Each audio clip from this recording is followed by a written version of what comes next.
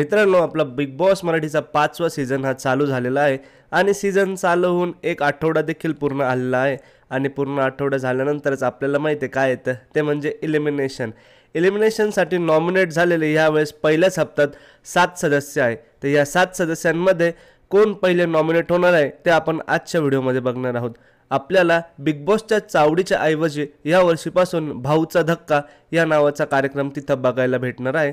शनिवार रविवार रितेश देशमुख हे बिग बॉसच्या चावडीवर न येता भाऊच्या धक्क्यावर येतील आणि तिथंच रविवारच्या दिवशी आपल्याला समजेल की आजच्या दिवशी घरातून कोण एलिमिनेट झालेलं आहे.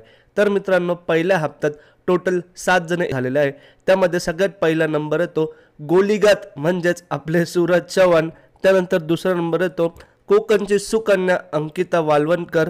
नंतर कलर्स मराठीच्या प्रेक्षकांना सर्वतोपरी परिचित असणारी वाट मोकळी करा म्हणणारी अंतरा म्हणजेच योगिता चव्हाण. त्यानंतर नॉमिनेट झालेले आहेत वर्षाताई उसगावकर महाराष्ट्राची स्वप्न सुंदरी आणि गोल्डन कन्या वर्षाताई. त्यानंतर इचलकरंजीचा ढाण्यावाग सर्वांचा लाडका रील स्टार धनंजय दादा पवार. आणि सातव्या नंबरला नॉमिनेट झालेले आहे पुरुषोत्तम दादा पाटील. या सातही जणांमध्ये मित्रांनो या हप्त्यामध्ये बिग बॉसच्या घराला रामराम ठोकणार आहे ते आपण बघणार आहोत. या सातही जणांमध्ये मित्रांनो ह्या दिवशी किंवा या हप्त्यात कोणीही सदस्य नॉमिनेट होणार नाही. हो मित्रांनो बिग बॉसच्या चारही सीझनची परंपरा या पाचव्या सीझनमध्ये देखील राहणार आहे.